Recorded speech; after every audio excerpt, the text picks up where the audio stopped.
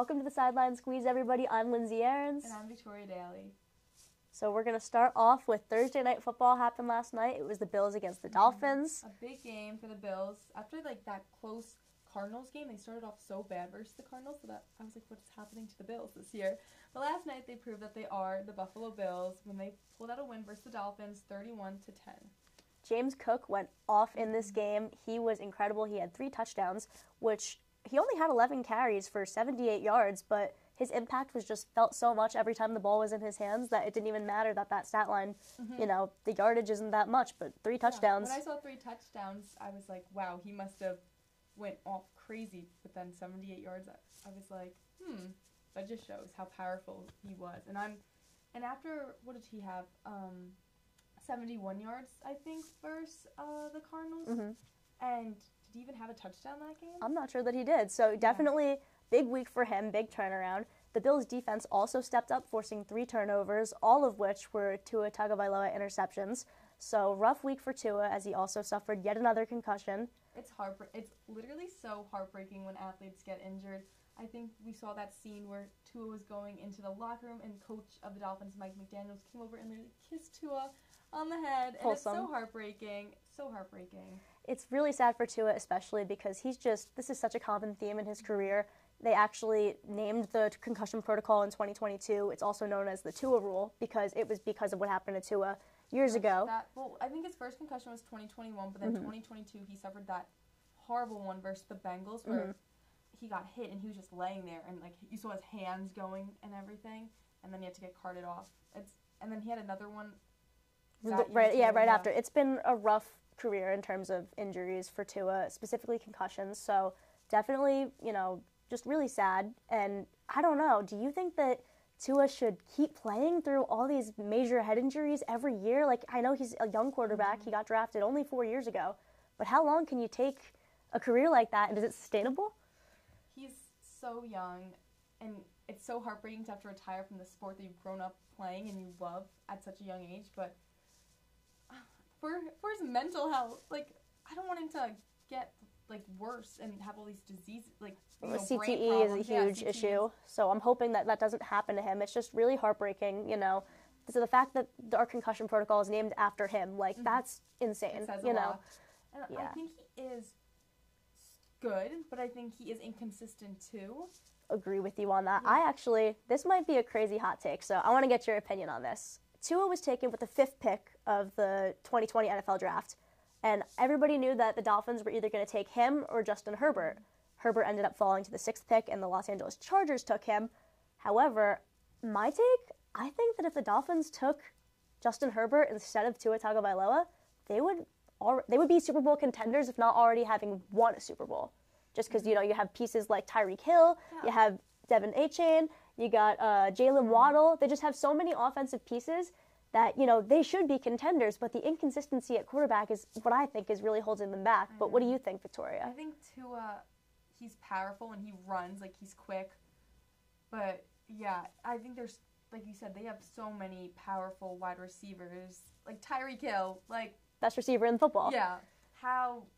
And I think it goes back to that it has to be an offensive problem, and if it's not with the wide receivers, it has to be with the quarterback and I like Tua. I think he's I think he's great, but I think he is inconsistent. He has to, you know, hit these people more. You can't just be relying on the run game. Um, but I don't know. I think Justin Herbert is good too, but you know he had that big injury. Um, True. To I don't know. I I like the environment of the Dolphins with Tua, and I think you know him and Coach Mike McDaniel's relationship is so powerful. But I think now that he's getting so injured, that's the problem. Where it's like if you had Justin Herbert, you know, maybe he'd be more consistent. He wouldn't be getting all these injuries. The Dolphins, you know, they have such high expectations, and then boom, Tua gets injured. You're stuck with a backup. It's a whole different game plan now. That I feel so bad because it's they sh- they had the potential, but with these injuries, it just doesn't get there. I totally agree, and also, at, like you said, Mike McDaniel and Tua have a great relationship. I know Tyreek Hill and Tua have a great mm-hmm. relationship. The players love him, so I understand. You know, chemistry is a lot on a team, and I get why Tua, you know, is their guy because of that.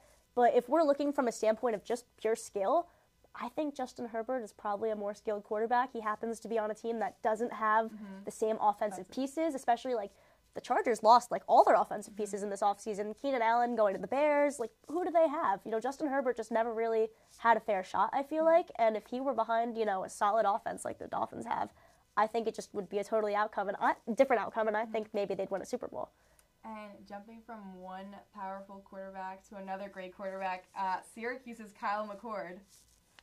He's doing amazing. He's been And incredible. I don't want to jinx anything, but after his the first game versus Ohio last week, Georgia Tech, he's had eight passing touchdowns, four in each game. Actually, those eight passing touchdowns lead all of college football. At least they did going into this week. Mm-hmm. Now, there was a Thursday night game last night, so a quarterback from, I believe, Texas State overtook him with nine.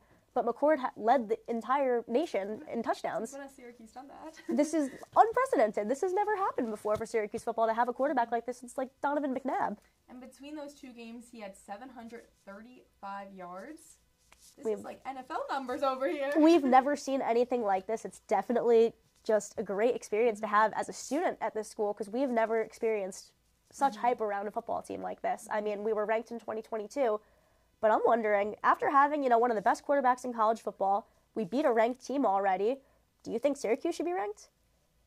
I think we gotta wait till Stanford next week. Mhm. You know, I think that was a sneaky win for us. I think we really pulled it off, and I have such high expectations for us now after that. But you know, Stanford is also you know a decent team. Um, the first game they beat well Cal Poly. Cal Uh, Poly's not yeah. super, you know, strong of a school, so I'm not Yeah. intimidated by that. But Yeah. they did hold their own against TCU, That's even though they lost. say. It was only a touchdown, you know, difference in that close game. So I think we got to see like it's two weeks. Like I don't want to be that person that's like, oh, we're amazing, we should be ranked. Like no, we got to give them more time. It's still you know there's still a lot of excitement that that could also be a big like motivation, the excitement. So I think we wait and see what happens next week. But if it, this energy keeps going up, if Kyle McCord keeps this up, you know, I think then eventually we better hit the ranks. I agree with you. I actually also agree that I don't think we're ready for, you know, being ranked in the AP poll mm-hmm. just yet, especially because our special teams really struggled in that last Yeah. game. It was, you know, we should have won by a landslide. We were up by 17 in the fourth quarter. Then all of a sudden the special teams just collapsed. You know, during that game they had a punt blocked, they also had a field goal blocked, so that wasn't good. And then, you know, once the defense started to collapse towards the end of the game, Georgia Tech had scored and narrowed the gap from 17 to 10. Then all of a sudden, I believe they also got like got a defensive stop on us, got the ball back, scored again, and I was like, "Oh my god, this I is what's happening. this is a close game." There was an onside kick also, which Georgia Tech after they had scored that first touchdown, they kicked it, then received it. So at that point, I was like, "Our special teams is just not performing Yeah. up to standard if we're, you know, giving up an onside kick, which isn't easy to recover." No, that that really scared me. that is not good, you know, because at that point they received the onside kick, scored a touchdown, and it was a three point game. Mm-hmm. Luckily, there were only two minutes left, and Syracuse was able to get the ball and just run that clock out. But otherwise, the momentum really shifted in that game from being all Syracuse in the beginning to Georgia Tech just totally taking over at the end. We got lucky No, that time ran out. So I don't know. I think, like you said, it was a sneaky win. I don't think it would have been a win had you know the time not been on our side in that mm-hmm. situation. So I think the special teams is really going to have to work on that with this bye week. Take that opportunity to just have a full reset and try to prepare for Stanford next week. And I think lastly, going from one field to another, Syracuse men's soccer plays tonight versus number 17 Virginia Tech. I'm so excited. I think it's going to be a great game. I'm actually going to go there tonight. It's at 7:30 tonight. I went to the last game versus Le Moyne, who you know is a lower D1 school, and the amount of people who came out for that game alone was crazy. So I think tonight it's going to be packed, the soccer stadium. So I got to head out there later tonight and get going there. As you should. Okay, so yes, as she said, soccer game will be tonight. Everybody head to the soccer stadium on South Campus. Just pack it and let's root for the orange. Mm-hmm. So thank you for tuning in to this week's edition of the Sideline Squeeze. I'm Lindsay Aarons. And I'm Victoria Daly. We'll see you next week.